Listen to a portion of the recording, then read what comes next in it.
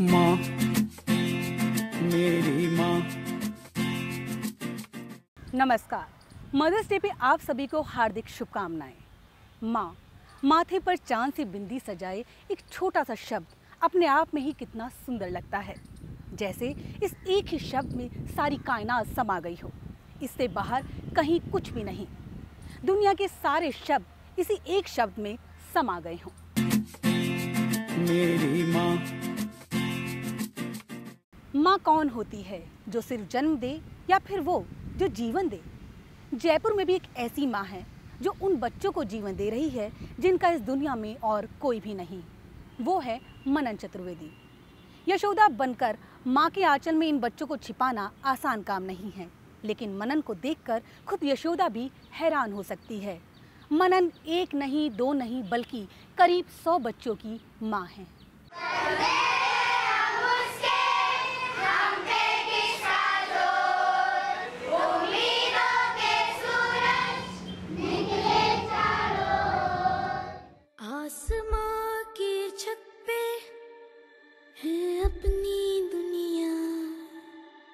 खिलखिलाती जिसमें है अपनी खुशियाँ।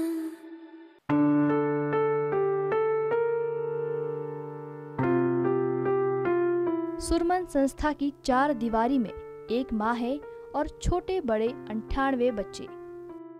कोई किसी कूड़े के ढेर पर मिला था तो कोई अस्पताल में लावारिस छोड़ दिया गया। मनन ने अपने हाथों से भुला बिसरा दिए इन बच्चों को सीने से लगा लिया, ताकि इन बच्चों के माथे पर यतीम होने की इबारत चस्पा ना हो। अपने आँगन में खेल रहे एक एक बच्चे के सर पर दुलार का हाथ फेरते हुए मनन कहती हैं, मैं माँ हूँ, यही मेरा इन बच्चों से रिश्ता है। सुरमन के घर आँगन में कभी माँ से बिछड़े किसी नन्हे बच्चे की किलकारी गूंजती है तो कभी कोई मासूम अपनी तोतली सी आवाज़ में कोई कविता सुनाता है। रावण मारा था, शत्रु को पहचाना था। सीता उनकी रानी थी, भारत महारानी थी। हनुमान के स्वामी राम, दशरथ जी के बेटे राम। मैं भी रात, राम मलूँगा पल्ली के विद्वान बनूँगा। अच्छे अच्छे काम करूँगा, सारे जग नाम करूँगा। स्त्री कभी माँ तो कभी बेटी, कभी जीवन संगिनी तो कभी बहू। ज़िंदगी के हर पड़ाव पर महिलाएँ समाज को नई दिशा देती हैं। लेकिन इन सबसे अलग कुछ महिलाएँ ऐसी भी होती हैं जो दूसरों की सेवा को ही अपना धर्म मानती हैं। मनन चतुर्वेदी भी इन्हीं महिलाओं में से एक हैं। इस माँ ने अपना करियर छोड़कर बच्चों को पालने का बीड़ा उठाया। मैंने फ़ैशन डिज़ाइनिंग का कोर्स किया था।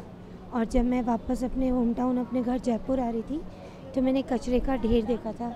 वहाँ पे एक लड़की थी जिसने बिल्कुल कपड़े नहीं पहने हुए थे और उस घर के बच्चों के साथ में कुछ ढूंढ कर खा रही थी। तो मुझे लगा मैं कपड़े किसके लिए डिज़ाइन करूँ?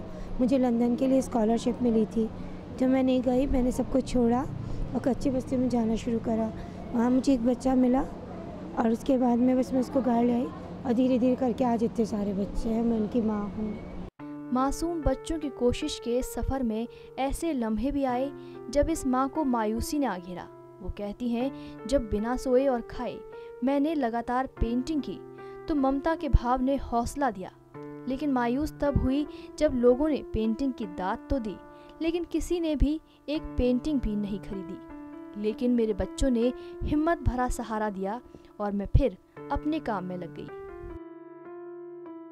मैंने बहत्तर घंटे स्टैचू सकल पे, यानी कि तीन दिन, तीन रात लगातार पेंटिंग बनाई थी और उसके बाद मैं शहर शहर घूम के चौबीस चौबीस घंटे पेंटिंग बनाती हूँ। और मेरा ड्रीम है कि मैं ढाई हज़ार बच्चों का घर कंप्लीट बना पाऊँ। उसमें दो फ्लोर हो गए, अभी चार फ्लोर और है। तो नॉन स्टॉप पेंटिंग मैराथन है ये। ममता की ये मूर्ति इन बच्चों को इतना प्यार देती है कि हर बच्चे के जहन में सिर्फ़ यही लफ्ज होते हैं कि माँ, तू कितनी अच्छी है, तू कितनी प्यारी है। तू कितनी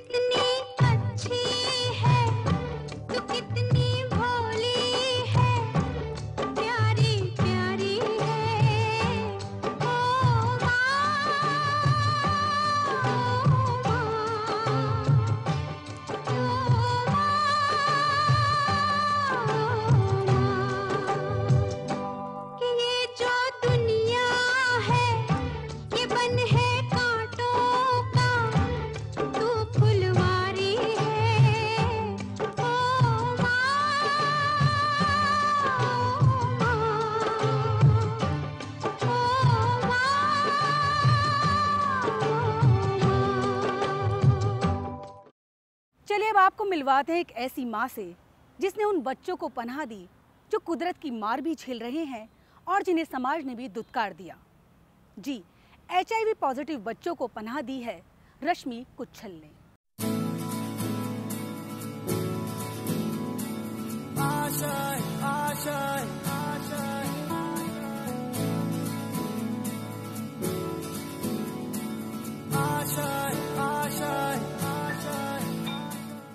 मासूम से इन फूलों की मुस्कुराहट में हज़ारों ऐसे दर्द छुपे हैं, जिनके बारे में सोचते ही आँखों से आँसू आना लाजमी है। जन्म के साथ ही एचआईवी जैसी बीमारी ने इनको माँ बाप के प्यार से महरूम कर दिया। बच्चे भगवान का रूप होते हैं, पर इन मासूमों के पास तो इंसानियत का व्यवहार करने वाले लोगों की ही कमी है।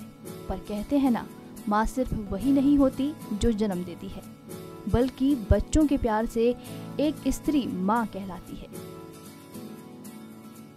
इन बच्चों की बेरंग ज़िंदगी में भी रंग भरे इनकी बड़ी माने।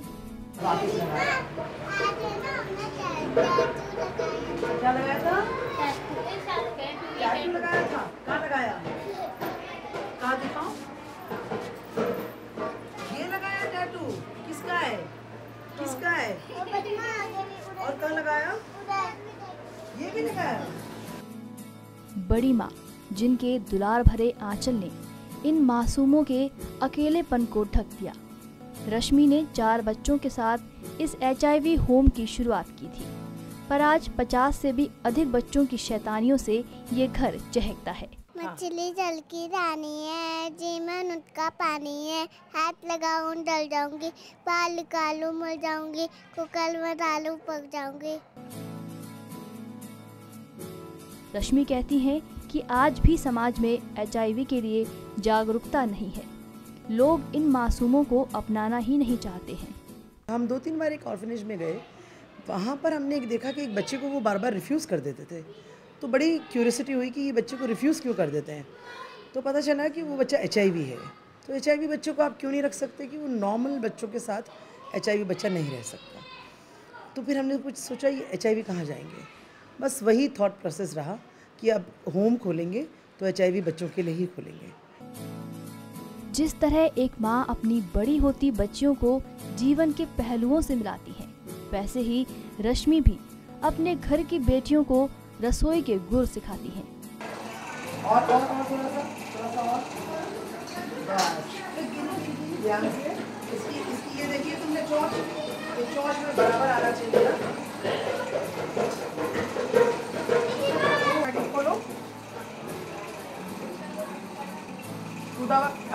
अलग रखेंगे और साबुत साबुत लगाएँगे ठीक है।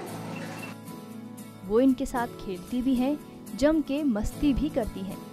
और होमवर्क न करने पर एक माँ की मीठी वाली डांट भी लगाती हैं। बेटा उसको रब करो वापस। हाँ। भाव सही लिखो भाव।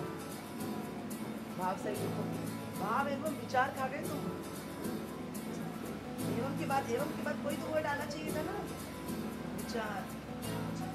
नॉर्मल बच्चे जैसे हम घर में रखते हैं वैसे ही रखते हैं। थोड़ी सी प्रिकॉशन ज़्यादा इसलिए लेनी पड़ती है क्योंकि उनकी इम्यून सिस्टम बहुत बहुत वीक है। वैसे तो नॉर्मली देखिए मौसम बदलेगा तो हम भी बीमार पड़ते हैं पर ये बहुत जल्दी पड़ते हैं। बहुत जल्दी इन लोगों को सब चीज़ पकड़ लेते हैं। ज़रा भी कोई इधर उधर बदलाव आया या मान लीजिए चिकन पॉक्स फैल रही है या कुछ कर रही है तो बहुत जल्दी कैच करेंगे। तो इसलिए थोड़ा प्रिकॉशन लेना ज़रूरी तो हम इनकी डाइट बहुत अच्छी प्लान करते हैं। इन मासूमों के लिए भी इनकी बड़ी माँ ही सब कुछ है।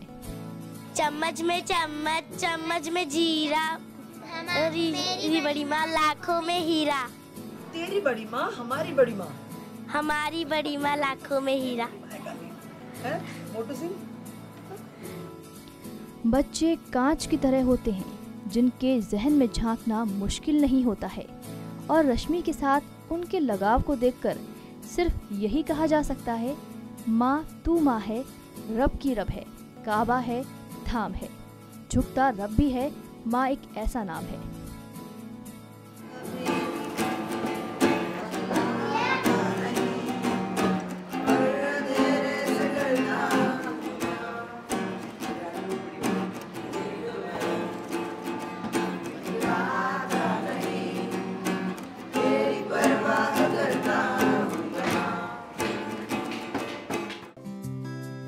मैं कभी बतलाता नहीं, पर अंधेरे से डरता हूँ मैं माँ।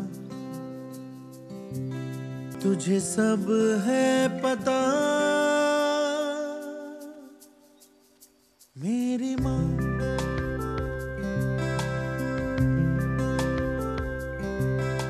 भगवान ना दिखाई देने वाले माता पिता होते हैं, किंतु माता पिता दिखाई देने वाले भगवान होते हैं। इन बच्चों को सिर्फ़ इसलिए छोड़ दिया गया क्योंकि ये एचआईवी पॉजिटिव हैं। लेकिन आज ये खुश हैं, ये हँसते हैं, मुस्कुराते हैं क्योंकि इनके पास, इनकी बड़ी माँ की आंचल की छाँव है। बड़ी माँ यानी रश्मि जी।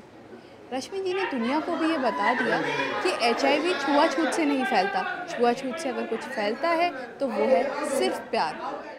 चलिए, फ़िलहाल लेते हैं एक छोटा सा ब्रेक और ब्रेक के बाद आपको मिलवाएँगे एक ऐसी माँ से, जिसने बच्चों के हाथ से कचरे का झोला हटाकर कलम थमा दी। मेरी माँ